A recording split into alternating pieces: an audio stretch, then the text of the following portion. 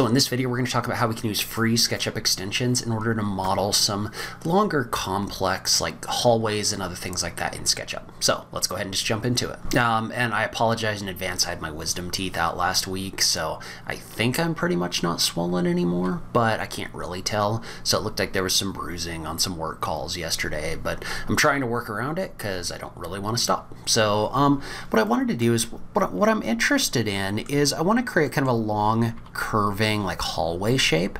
And so what I'm going to do is I'm just going to um, use the arc tool in order to create just kind of a long curving shape. I don't want to get like too crazy with it. Um, I'm imagining like like either like a museum corridor or something like that that just kind of has a long corridor to it. So something that's kind of like long, but it also has some ups and downs.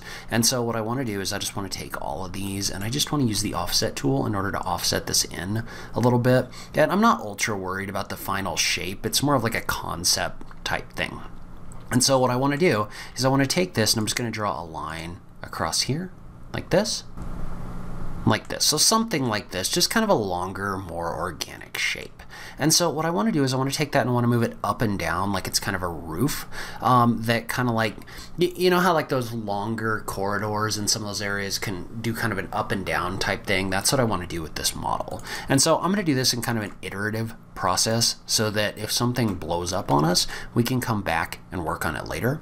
But um, what I want to do first is what you could try is you could try using sandbox tools in order to try to do this using the smooth tool. So you can see how you can mouse over this and you could adjust your radius to something like 50 feet so you pick up a little bit more of it and you could try to move this up and down. But the problem with that, and I mean, it, it definitely works, but what happens is you start getting all this like edges and other things like that um, in here just because this is, this is made up of a ton of different segments. And what it's doing is it's pulling on the geometry in here and it's making it so that uh, you've got all this like nasty um, nasty geometric issues basically. And so what we want to do instead is we want to get some geometry that's a little bit better to work with and so usually what I like to do when I'm looking for some better geometry is I like to take a shape like this and I like to delete out the face and then I like to use the free extension Soap Skin and Bubble which I will link to in the notes down below. And so when we do that so when we use Soap Skin and Bubble, what that's going to allow us to do is that's going to allow us to create geometry in here with a grid. So it uses math to kind of figure out what this grid is. And in this case, I'm going to go to the maximum, which is 30. And so what that's going to do is that's going to divide this up into a grid. And while the geometry isn't perfect, like you, you'd ideally want to see like total quad geometry in here, but that's not really how we modeled this. And I don't think you need that um, in order to do what we want to do here. But now we can take that whole thing and I'm just going to make another copy of it. And we can use the sandbox tools on that. And so the cool thing about when we use sandbox tools on that, and I'm going to go ahead and I'm going to reverse my faces on this one, but the cool thing about this is now, if we use sandbox tools in order to move this up and down, and I don't know why it does this, but we want to jump over to the select tool. I'm just going to take this whole thing and use the smooth tool on it. Well, notice how now, instead of getting that nasty tearing that we were getting before over here, um, this works a lot better, right? You can see how now um, our geometry kind of moves up and down. Um, it kind of merges together. And that's just because there's this intermediate geometry in here that uh, really kind of works together as opposed to over here where it's just kind of like splitting it up based on all the edges inside of this object.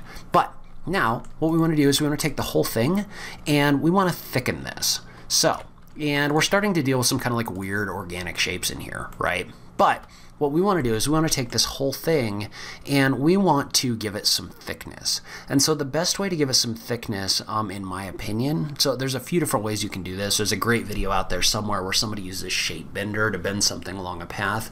I'm going to be a little bit more organic with it and I'm going to use the free extension joint push pull. Um, by the way, I will link to all of those in the notes down below. But what I want to do is I want to activate joint push pull and I want to thicken the surface. And there's two tools that we could use in order to do this. So the first is the actual joint push-pull tool itself. And what that's going to allow us to do is that's going to allow us to take this whole thing and give us some thickness. So I would select my surface.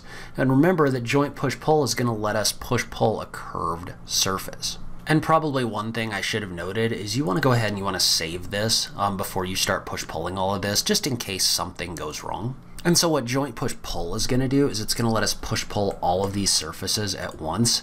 And um, the reason this is such a powerful extension is because what it does is it'll automatically kind of fill in the geometry between those two surfaces, assuming you've selected the thicken option right here. If I click on this, notice that this did do a pretty decent job of thickening my geometry, but it's a little bit weird in the sense that like some of the directions are a little bit odd and it's just not like a true like up and down thickening, which isn't really realistic to the way you might build something like this. Like, not that you'd necessarily build something exactly like this, but um, what we might do instead is we might go into our second option and we're going to use the tool vector push pull. And so what vector push pull does is vector push pull allows us to actually push pull in a direction.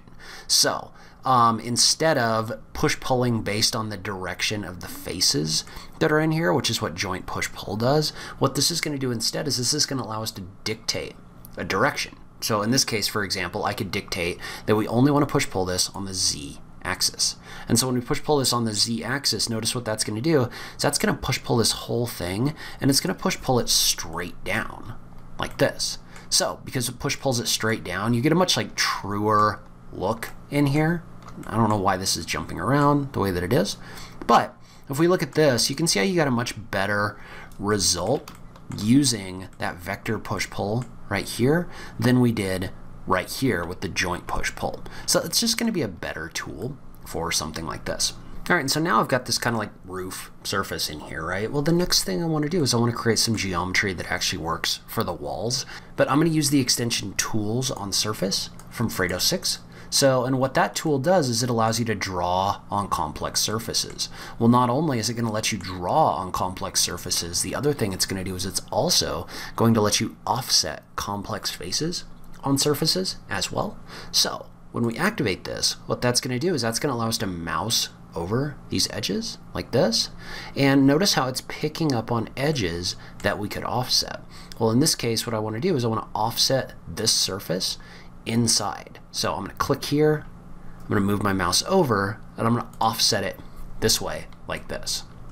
And so notice how, however, that's going to be really hard for me to pick up this geometry um, because I would have to go through and click on it over and over again. Um, there's not really an easy way around that that I'm aware of. So I'm going to undo that. And what we want to do instead is we actually want to pick up the offset on surface tool again. But this time we want to make sure that we click on generate in a common group. So what that's going to do is that's going to take our edges that we generate. So we want to mouse over this and pick this whole thing. And I'm going to offset this inside. And we can say that we want to offset this in maybe like 12 inches and hit the enter key. But what that's going to do is that's going to generate those edges in a group. So now I've got these edges in here like this. And so now what I want to do is I want to take these edges that I've offset and I want to use soap, skin, and bubble on them again. So in this case, I'm just going to generate a soap skin with those edges selected. And I want to type in a value of 30 again for a subdivision. But remember, when I hit the enter key, what that's going to do is that's going to take that surface right here, and that's actually going to take it and conform it to those edges. So if I was to copy that, you can see how it's going to look something like this. And so now we can use joint push-pull on this in order to generate some perimeter walls around this. So in this situation, for example, we would just go back to our vector push-pull. So we would select vector. And um, a lot of you have asked about this. So there's a tool in here called project the shape on a plane. So I did a video a long time ago about creating a, um, a landscape that moves up and down and you can push, pull, and thicken it and slice it. Um, as soon as I made that video, Fredo updated this so that it uh, automatically shows less options. And so the tool I used for that, which is called project the shape on a plane, um, got hidden. So if you want to see that tool, you can just click on the right arrows right here and you can activate this. But what we want to do is instead of push pulling this so that it's down like this, notice how when we do that, we've got all this crazy up and down, right? Well, we don't necessarily want that. What we want is for this to project this on a flat plane. So we're just going to take this and select the option for project the shape on a plane.